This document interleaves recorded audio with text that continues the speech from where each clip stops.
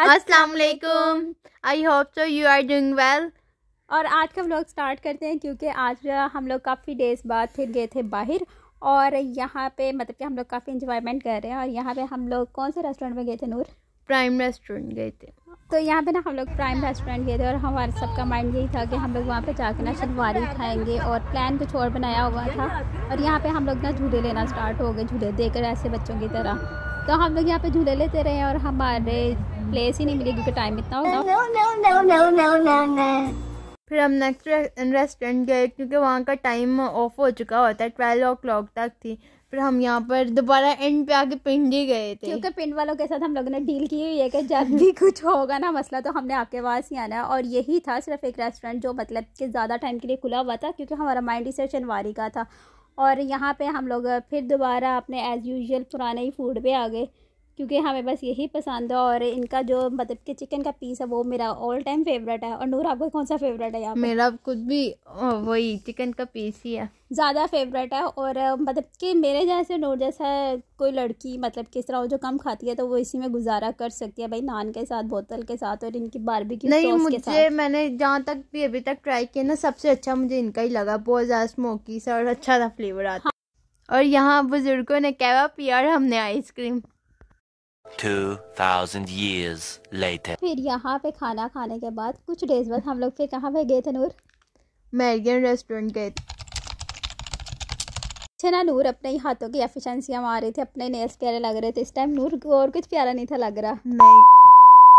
यहाँ पे नूर के ना बस अपने नेल्स प्यारे लग रहे थे और यहाँ पे मैरियन में ना नूर को अपनी मज़े की चीज़ें मिल गई अपनी कहीं पे भी डिजर्ट और नूर छोड़ दे ऐसा नहीं हो सकता खास तौर पे नई नई चीज़ें। हाँ नूर डिफरेंट चीज़ें खाना बहुत पसंद करती है तो नूर ने ना यहाँ से जितनी भी हो सकती थी ना सारी शॉपिंग कर ली जो भी इसको चाहिए थी चीज़ें चीज़ केक हाँ। जो जो कुछ भी मैं मौका नहीं छोड़ती ना मैं कहती हूँ अगर अभी टाइम मिला तो मौके पर चौका मार ही दो। हाँ वैसे होना भी ऐसा चाहिए इंसान अगर ना हाँ, ना अगली दफ़ा नहीं अगली दफ़ा करें अगली दफ़ा कहीं और चले जाए फिर उसका भी बारह बजे का टाइम हाँ, और कभी ऐसा होता है कि हमारा मूड खराब होता है ना तो हम हाँ। किसी चीज़ से ना ना कर देते हैं और बाद में हाँ। पछताते हैं यार मैं तो खास तौर पे ऐसे मैं बड़ी पछतावे वाली लड़की मैं हर चीज़ पे पछताती हूँ बर्गर पे पछताई बिस्किट पे पछताई सारे पे पछतावा मतलब कि ऐसा नहीं होना चाहिए जो आपको पसंद है ना गुस्सा हो या ना हो जो पसंद है वो उसी टाइम ले लेना चाहिए बाद में मौका कोई नहीं मिलता है और अगर मौका मिले भी तो बहुत देर बाद मिलता है तो इसी तरह नूर का भी हाल था। हम लोग खाने में लगे हुए नूर अपनी खाने की चीज़ों में लगी हुई थी। तो कुछ डेज़ बाद ना यहाँ पे मैंने थोड़ा सा क्लिप इसका भी ऐड कर दिया। जो मैं सैंडविच बना रही थी मैंने सोचा आप लोगों के साथ ये भी शेयर करती जाऊँ साथ साथ क्योंकि कुकिंग भी तो होती रहती है ना। बाइक की थोड़ी चीज़ें हर वक्त खाते रहते हैं। तो गैस का तो यहाँ पे भाई, यहाँ पे सब कुछ यहाँ हेल्दी होता है, जो भी खा ले, लेकिन मतलब कि इस तरह की कंडीशन हो गई हुई है कि कुछ पकता ही नहीं है। घर पे खाना पकाना बहुत मुश्किल हो गया हुआ है।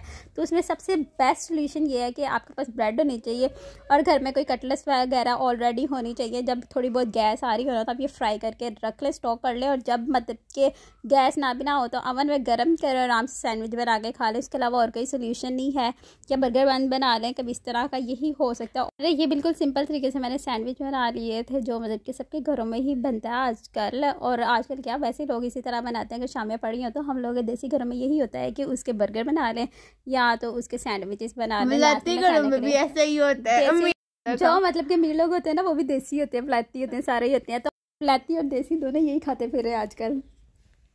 अब इसकी लड़ाई छोड़ के आगे बढ़ते हैं। और आप यहाँ पे आए कि आपने चैनल को क्या करना है? Subscribe like share comment bye bye और अच्छे अच्छे व्यूज़ आने चाहिए भाई ब्लॉग को सब्सक्राइब कर दो जल्दी से ताकि अच्छे से व्यूज़ आए और जल्दी जल्दी चैनल मोनेटाइज आए। ओके जी, अल्लाह हाफिज़।